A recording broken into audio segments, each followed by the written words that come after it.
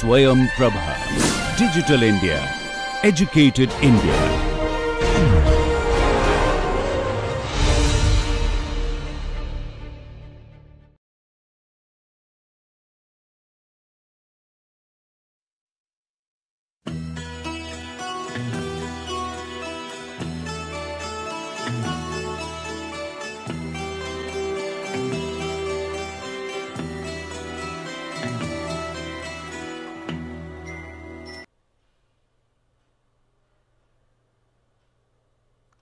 Morning to all of you. Welcome to the ninth lecture on economics, management and entrepreneurship. In the last class, we had discussed about direct costs, indirect costs and unallocated costs. We also talked about product costs and period costs and then towards the end of the lecture, we talked about two different types of costing systems, traditional costing and activity based costing. I think towards the end of the last class, we could not complete a particular example that I had taken for activity based costing. Therefore, before I start the new topic today, I will like to do that problem once again. Activity based costing as this diagram shows, we can say that there are certain direct costs such as direct material, direct labor and other direct resources that can be traced directly to the product cost, whereas there are certain indirect resources which while we allocate them to a particular product, we would like to first of all define certain activities and then try to estimate the percentage of each of these indirect resources that are spent on each of these activities and then through the cost drivers we can allocate each of these indirect resources to the product cost. Of course, as before unallocated costs remain unallocated and are to be subtracted from the gross profit margin to give our net profit margin. Now, there are four steps. The first step is to define the cost objectives, the activities and the related cost drivers. The second is to draw a process based map the third is to collect the relevant data concerning the cost driver units among resources and activities and to identify the physical flows and of course, fourth is to calculate and interpret the new activity based information.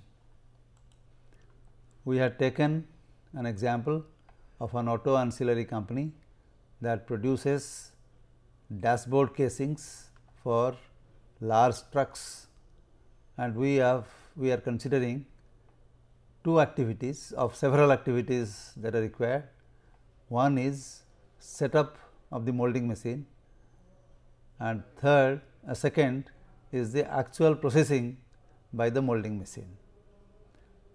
Two types of resources we can find out one is directly traced and that is resin material and the other is indirect resources the molding machine cost, the labor associated with it and the energy spent in processing. Now, this we wanted to show in the form of a map for which we need different symbols.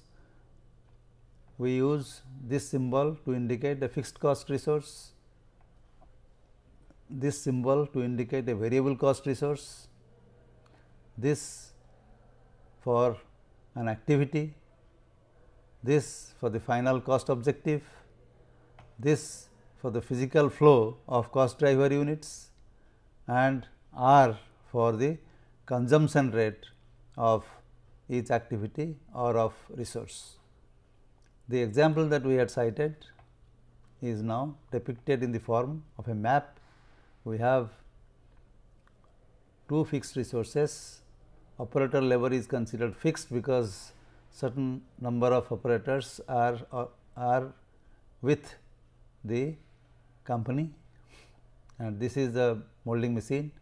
This is also fixed cost, this is also fixed cost whereas resin is a direct cost and it is a variable cost resource.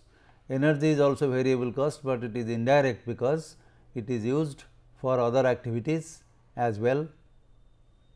Molding machine is used not only for dashboard casings, but also for other components for which it requires setups and machine processing activity.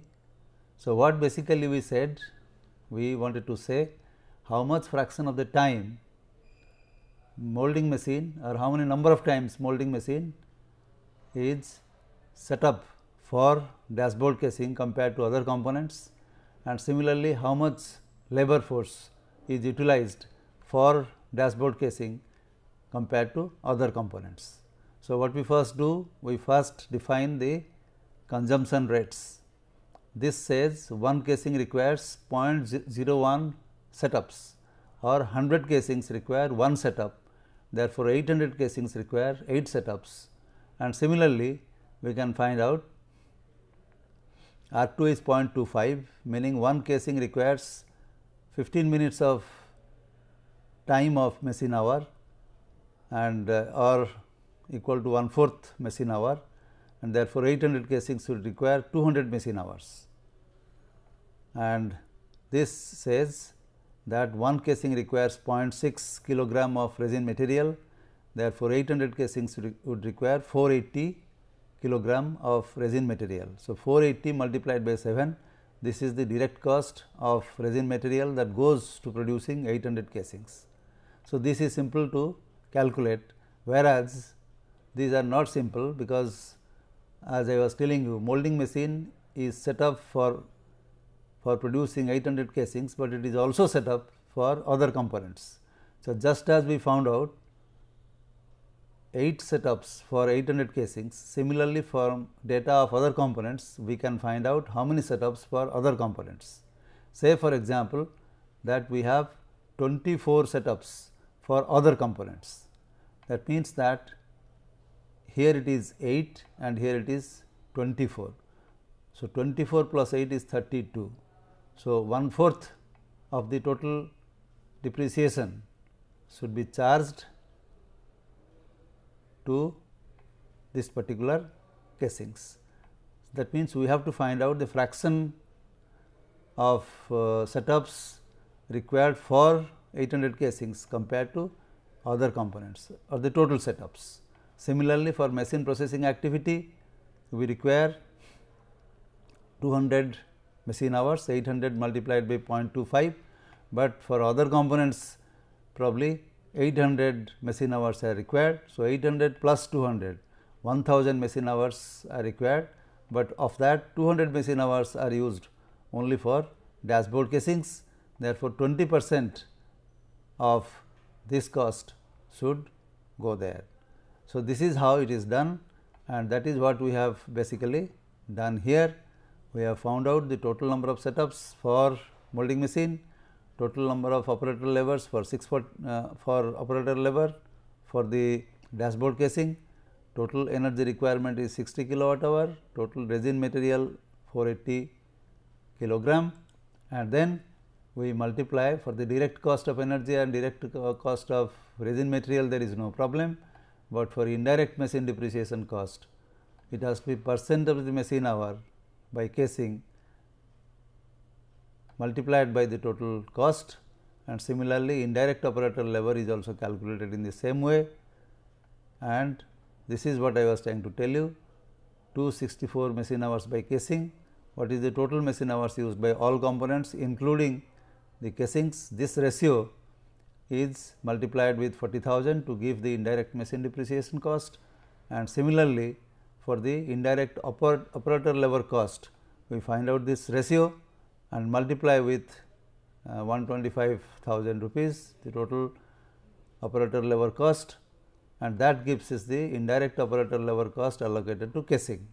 So, now we add the 4 components the direct cost of energy which is 180, direct cost of resin material which is 420, indirect machine depreciation cost and this cost together is the indirect costs allocated to casing.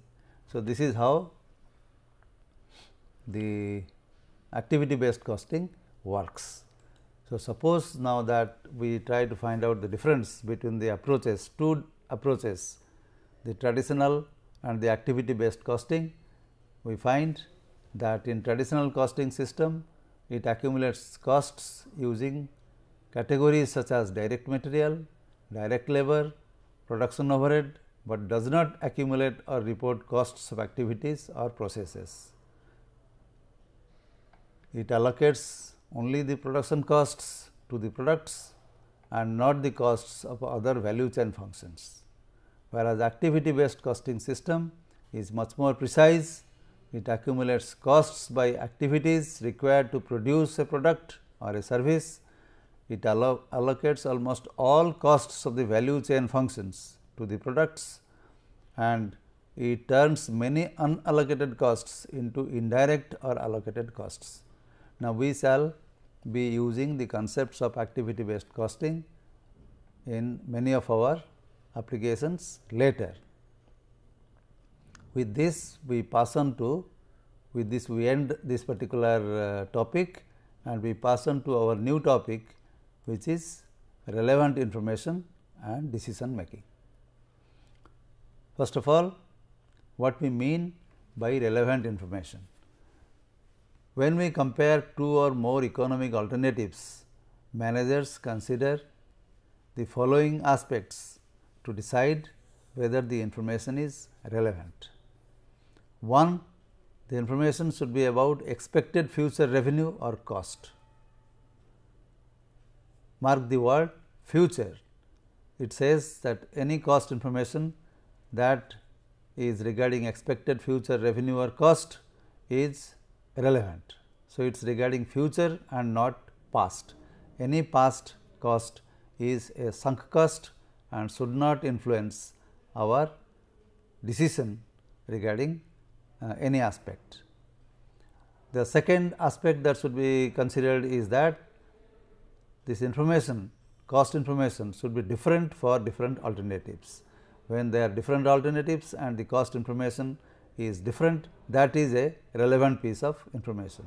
So, we are more concerned with the future aspect of the information and not the past information and second that this information that is relevant is relevant only when it differs from one alternative to another alternative. So, the definition that we give for relevant information is the predicted future cost that differs among alternatives. We will elaborate this in many examples that uh, that are going to follow now. Now, let us take a simple example of special sales order. According to this, a company makes and sells 1000 1 million sorry 1 million auto replacement parts at a price of 40 rupees per unit. The manufacturing cost of goods made is 30 million rupees. Now, suppose a mail order house near year end offered the company rupees 26 per unit for a for 100,000 unit special order that would not affect the company's regular business in any way, it would not affect the total fixed costs, it would not require any additional selling and administrative expenses and would use some other some otherwise idle manufacturing capacity. What should the company do? Should it accept this particular order or should it not accept this particular order. Now, apparently as you can see the it, it, it uh, asks for giving only rupees 26 per unit, whereas the manufacturing cost appears to be rupees 40. The manufacturing cost appears to be rupees 30 because it is uh, 30 uh, million rupees to make 1 million auto replacement parts. So, the unit cost of manufacturing is rupees 30. Normally, it sells at rupees 40, making a profit of rupees 10 per unit. Whereas, the order the customer is saying that he would like to pay at a price of rupees 26 per unit. So, naturally 26 is less than rupees 30 per unit which is the present manufacturing cost.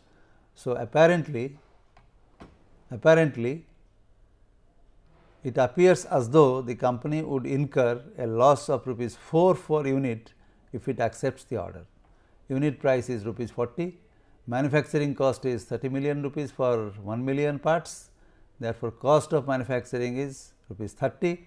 The special order is uh, says that it can pay at a price of rupees 26. Therefore, as you can see this is not a very worthwhile proposal to accept.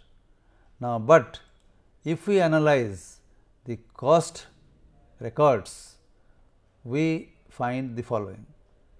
The company records show that the variable expenses associated with manufacturing of this type of parts is 24,000. Selling and administrative expenses that are variable because as you know certain parts certain components of selling and administrative could be variable certain other could be fixed. So, variable component of selling and administrative expenses is rupees 2200 the fixed expenses are for manufacturing you require 6000 rupees and fixed component of selling and administrative expenses is rupees 5800 the special order affects not the fixed expenses because they are anyway they will continue to be borne by the company. They are sunk cost, they are past cost, they are fixed. Therefore, even though the company uh, accepts this order, these expenses would remain and if it does not accept these expenses would also remain. Now, since selling and administrative expense here written here is variable, the variable part of selling and administrative expenses would would uh, is a relevant uh, cost just as the variable manufacturing cost. So, here the variable manufacturing expenses and the and the the variable manufacturing expenses and the fixed expenses are irrelevant for hello you stop here. There is a problem here. Uh, I think we have to have a break here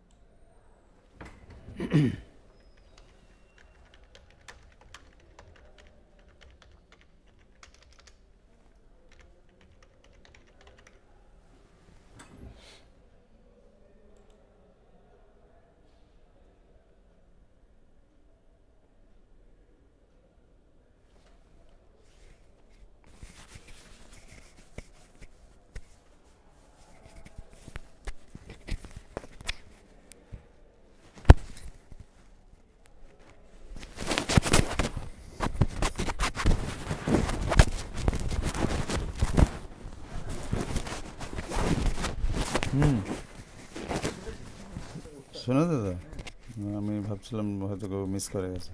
একটা ভুল ছিল এখানে যার জন্য আমি একটু confused হয়ে গেছি। এখন ঠিক হয়েছে। এটা একটা ভুল ঠিক করে দিয়েছি হ্যাঁ। স্লাইডটা ফুল করবে? দাঁড়া একটু বলছি। Administrative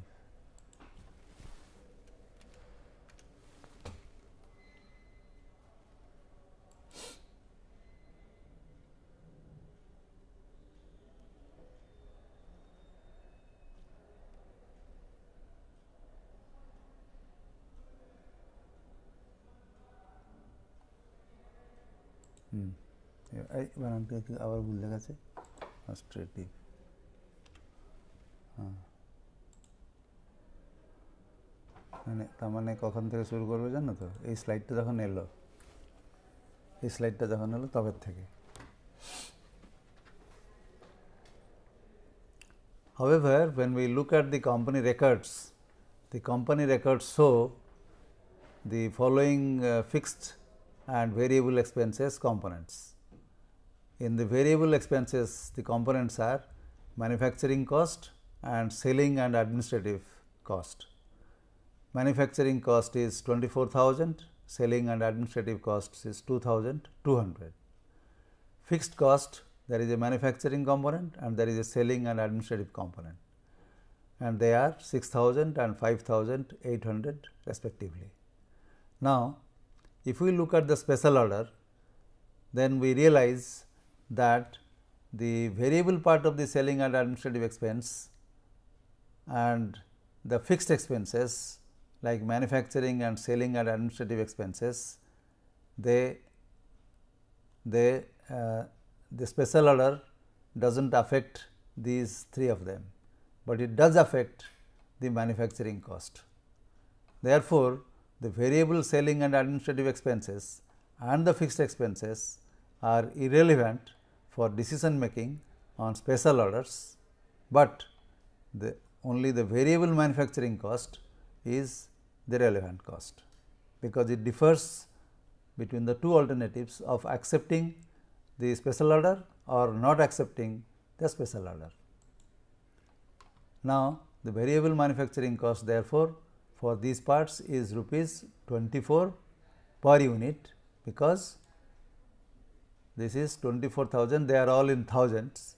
So, 24,000 24 million therefore, divided by 1 million gives us rupees 24 per unit is the unit manufacturing cost and the special order pays a price of rupees 26 per unit.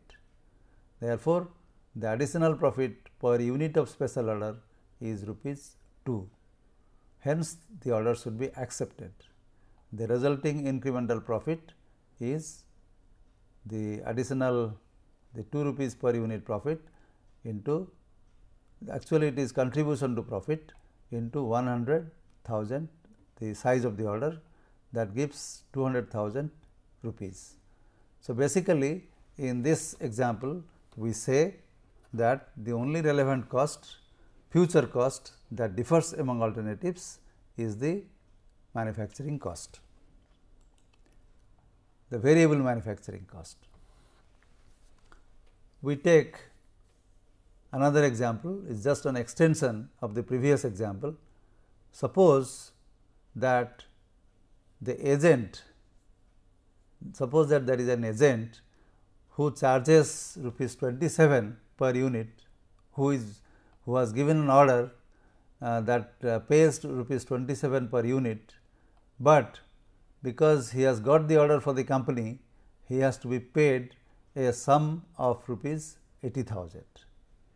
Now, here both the variable manufacturing cost and the fixed cost of the agent's fee are relevant and therefore, the total incremental profit for the company is 27 rupees the sales price for the special order minus the variable manufacturing cost 24 multiplication the size of the order which is 100,000 minus the agent's fee 80,000. So, that gives us 220,000 rupees which is higher than this. We take another example to illustrate the usefulness of the concept of relevant information. We take a case of a departmental store. It has three departments groceries, general merchandise and drugs. And this table gives different aspects of revenue and costs and finally gives the operating income department wise. Here the sales they are all in uh, 1000 rupees. So, sales that is the revenue the total revenue is for groceries it is 1000 1000 rupees that is 1 million rupees. 800,000 for general merchandise 100,000 for drugs. Totaling 1900,000 that is 1 million 900,000 rupees total revenue. Now, the cost of goods sold the variable part of the cost of goods sold this is variable part the variable component of cost of goods sold is 800,000 rupees for groceries, 560,000 for general merchandise, 60,000 for drugs, totaling 1,420,000 rupees total. The contribution margin as you already know is the revenue minus the variable cost of goods sold which is 200 to 40 40, 480, 1000 rupees. This is total total of all these three. The now the fixed expenses are divided into two types avoidable, unavoidable. Avoidable means that if grocery is dropped this cost will not be there whereas unavoidable means that if groceries is dropped this will continue to be borne by the company. A definition for avoidable cost is that this cost will not continue if an ongoing operation is changed or deleted, whereas an unavoidable cost will continue if, even if an ongoing operation is changed or deleted, because the resources are shared by other operations of the company. So, this classification of fixed cost is done because as we will see there is a decision to be taken on whether any one of these three can be dropped. So, total fixed expenses comes to 150 plus 60 210 here 100 and 100 200 here 15 plus 20 35 here and 445 here. So, if we subtract all the expenses from the revenue the groceries shows a loss anything within parenthesis in accounting literature it means a loss. So, 200 is the contribution margin minus the fixed expense which is 210 yielding a loss of 100 and is indicated by writing the number within parenthesis. The contribution margin for general merchandise is 240 and total fixed expense is 200 so, subtracting 200 from 240 gives 40. Here it is 45 minus 35 5, here it is 480 minus 445 35,000 rupees.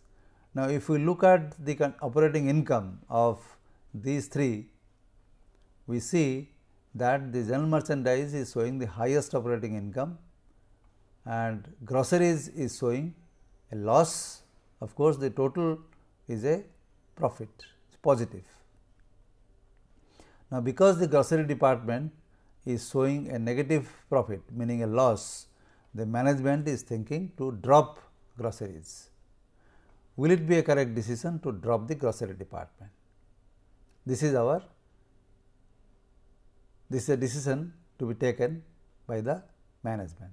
Now, in this case let us understand that there is something called unavoidable expense it means that even though we drop groceries, this cost will continue to be borne by the company. So, that is not therefore a very obvious choice to close or drop groceries. Now, we here we show that before we bring in any change, this is a summary thing, the total operating income for, for the company, for the whole departmental store, for all the three departments is 35. Total revenue was uh, 1 million 900 thousand rupees. Total variable cost of goods sold was that, total contribution margin is this, etc. Now, suppose that we drop groceries, then what can happen? Unavoidable will continue to remain 180, continue to remain the same, it will not change. What will change will be the other values. In the other values, the sales that we had from groceries which was 100 uh, 1 million rupees 1000 1000 1 million rupees of sales we will not be able to achieve and therefore the revenue will come down to 900 and like this if we see finally we see that because of that 60 unavoidable cost which will be continue to be borne we will have a net loss of 15 if we drop groceries which means dropping groceries is not a good decision. After dropping the grocery department, the operating profit drops to minus 15 rupees. Hence, the grocery department should not be dropped on the basis of this this data or this uh, this set of information we cannot decide to drop groceries. However, let us consider a modification of the last example. Suppose in example 3, the company thinks to drop groceries but utilize the space so created by expanding the general merchandise department that would increase sales by rupees 500,000, but would incur avoidable fixed cost of rupees 70. Now, it says that suppose that we decide to drop groceries, certain space will uh, be vacated and that space can be utilized to expand the general merchandise department and that would require a fixed cost of 70,000 which is which is avoidable of course, but it will also increase sales by this amount. Now, because it is avoidable this is relevant and this is also relevant, this also is relevant because they differ between the two alternatives of whether to drop the groceries or not drop the groceries. We make an incremental analysis. Here we say that the additional sales is rupees 500,000. The variable cost associated with the additional sales, there is a variable manufacturing cost. You can look at the groceries, uh, the general merchandise the general merchandise was if the sales was 800, the variable cost of goods sold was 560. So, this ratio says that if sales go up by this ratio, the variable COGS should also go up. So, that is what is shown there 560 divided by 800 is that ratio of cost of goods sold divided by the sales revenue multiplication this additional sales revenue so, this is the additional variable cost associated with the additional sales. The avoidable fixed expense now becomes relevant, therefore, it has to be added 70,000 and this leads to 500 minus 350 is 150,000 minus 70,000. So, the increase in operating income becomes 80,000. Now, a gain of rupees 80,000 is better than the loss of rupees 50,000 due to the grocery department. When we drop the grocery department, we are losing sale of 50,000 operating income of 50,000, but because of utilizing the space to expand the general merchandise department, we are gaining 80,000. So, obviously, the net gain is positive and hence the department grocery department should be dropped and general merchandise should be expanded. So, this is a decision that we could take on the basis of the concept of relevant information. Now, we come to yet another example, the example of either making or buying parts from outside, making the parts in house or buying the parts from an outside supplier. Now, this particular problem is the following. A company has the following components of cost for parts it is manufacturing at present in a year and the three components are the direct labor, direct material and factory overhead. The annual direct labor cost is rupees 30,000, annual direct material cost is rupees 50,000 and the total fixed overhead is rupees 80,000. The company is producing 8000 parts in a year. Another manufacturer wishes to supply the part to this company at a price of rupees 16 per unit. The question is should the company buy the parts from this outside manufacturer or should it continue to make the parts in its own plant. As you can see the total cost comes to 30,000 plus 50,000 plus 80,000 which is 160,000 1 16,000 116,000. So, we will see how it is working out. The total cost for producing the 8000 parts is the total direct material cost, direct labor cost and the factory overhead cost that comes to 160,000 rupees. Number of parts produced is 8000. Therefore, the unit cost of production comes to 20 rupees per unit. The offered price by the outside manufacturer is only 16 rupees per unit. The total amount for the purchase comes to 16 rupees per unit into 8000 which is 128,000 rupees. Obviously, 16 rupees is less than 20 rupees. The total cost for buying 128,000 rupees is less than the total manufacturing cost which is 160,000 rupees. Therefore, it appears as though the offered price is good and that the company should buy the parts from outside rather than make it in the plant in its own plant. Now, before this decision is taken hurriedly we need to have some more information.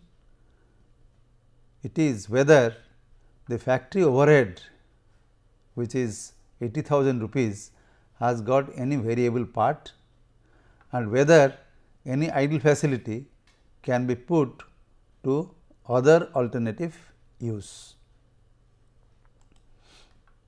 Now, the following accounting information was available. It was found that out of the total factory overhead of rupees 80,000, 50 percent was fixed overhead and 50 percent was variable overhead. If you recall fixed overhead is whether or not we manufacture the parts, these overheads will be continue to be borne. Whereas, if we stop manufacturing the parts in the plant, then this overhead will disappear. So, if this is not changing, then this cost is not relevant. Whereas, since this is going to change in the future as per our guideline, this then becomes the relevant cost. So, the total relevant manufacturing cost then becomes the direct material, the direct labor and only the variable component of the factory overhead, not the fixed factory overhead component, which means it is 120,000 and not 160,000. Therefore, the relevant manufacturing cost, look at the word relevant, the relevant manufacturing cost per unit becomes 15 rupees per unit compared to 16 rupees per unit at which the items are going to be supplied. So, on the basis of this analysis we can say that the offer price is not encouraging and that the company should continue to make the product in the plant itself rather than buying it from the outside supplier. Now, a second piece of information was also available. It was that the supervisor engaged for making the parts can be transferred to another shop without any difficulty. Now, the supervisor salary was basically a fixed cost, which we had neglected thinking that it is not relevant because it is not changing.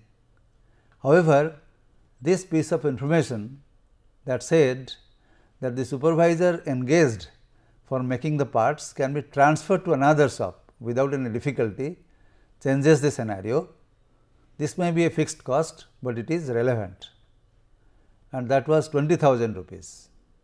Now, this cost is relevant as it will vanish if the company decides to buy the parts. Hence, we cannot ignore this cost for computing the relevant cost. Hence, the total relevant manufacturing cost is not just 120,000 rupees that we had found out earlier, but also this 20,000 to be added to it and that makes it 140,000 rupees. Hence, the relevant manufacturing cost per unit becomes 140,000 divided by 8000 which is 17.5 rupees per unit. The offered price is the is 16 rupees and the relevant manufacturing cost per unit is higher and therefore, it appears that making is not a good alternative. It should the company should go for buying the parts and use the supervisor effectively for some other activity. So, you can see here that as new information is coming, the decision to be taken changes because certain other cost becomes relevant. Now, we go now suppose that we have a third piece of information that says that if we buy the facility buy the parts from outside, then there is some idle space and facilities and such idle space and facilities can be used by another manufacturing facility and that can yield rupees 40,000 as additional contribution to profit. Now, naturally this revenue additional revenue of 40,000 becomes relevant and it reduces therefore, the relevant cost of manufacturing the parts. The relevant manufacturing cost then becomes 140,000 minus 40,000 making it 100,000 rupees and making the cost of manufacturing relevant cost of manufacturing as 12.50 which is much lower than 16 rupees which is offered by the outside manufacturer. So, in this situation making the parts in the plant is better than buying.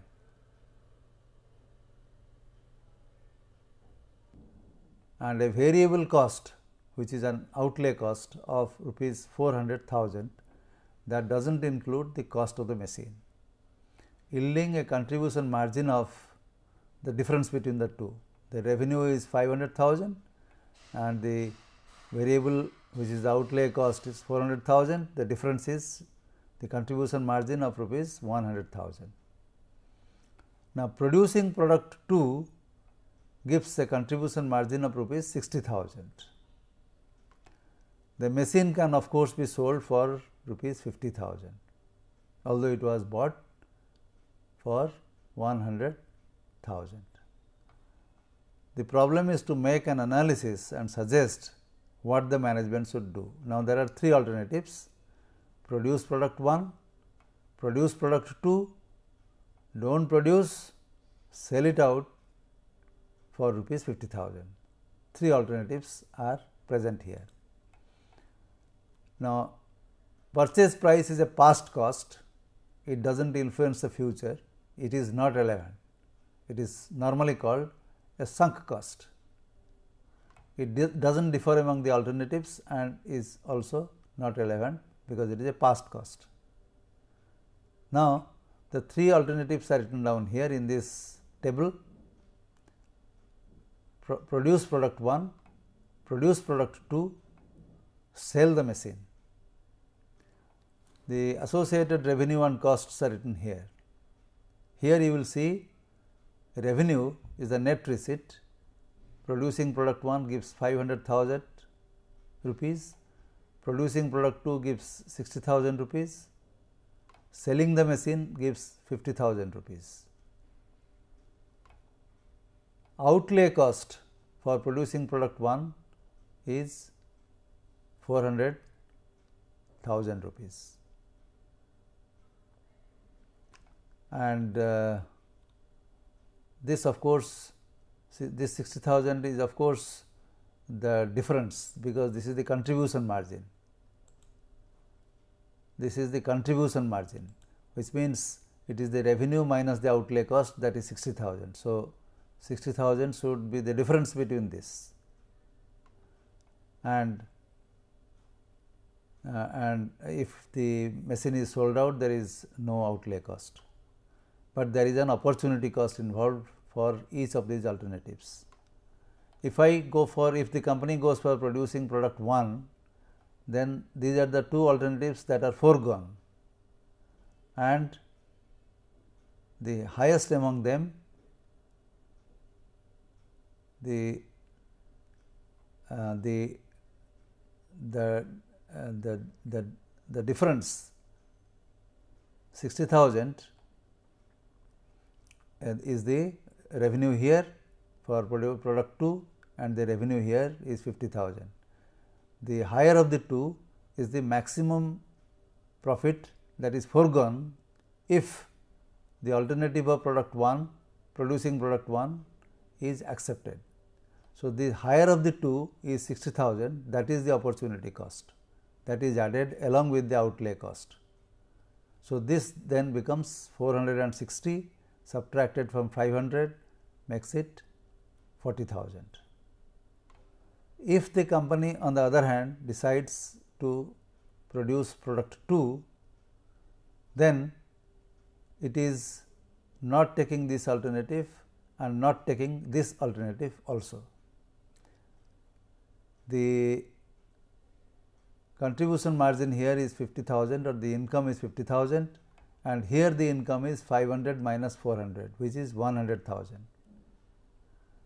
Higher of the two is 100,000. So, it is unable to get 100,000 that is the opportunity cost if product 2 is produced and not product 1 and not for not this alternative. So, that is the opportunity cost.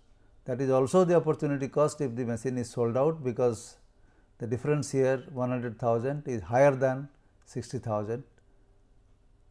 So, that is written down here as the opportunity cost. If we add this is the revenue and this is the cost, this is a loss shown in parenthesis basically 50,000 rupees loss. Here in parenthesis it is 40,000. So, 160 uh, minus 100 is minus 40,000 it is a loss written in this manner it is a loss and here it is 500 minus 400 minus 60 that is 40,000. So, from here we conclude that the first alternative is the best alternative and therefore, the company should continue to produce product 1. So, here this example tells us what we mean by opportunity cost. It is the loss incurred, the maximum loss incurred, the maximum loss foregone, maximum profit foregone when a few alternatives are not taken. So, once again I will I repeat that if I go for producing product 1, then these two profits I am losing. The maximum or the higher value of these two is 60,000 and that is the opportunity cost here. If I go for producing product 2, then the benefit here was 50,000, the benefit here was 100,000, the higher of the two is 100,000 and that is the opportunity cost. So, outlay cost is the actual out of pocket expenses where cash is disbursed, whereas opportunity cost is implicit. It only tells how much profit, how much maximum profit you had you have foregone or you will forego if a particular alternative is accepted. Now, so we stop here today. We will take up other aspects of uh, economics in our next lecture. Thank you.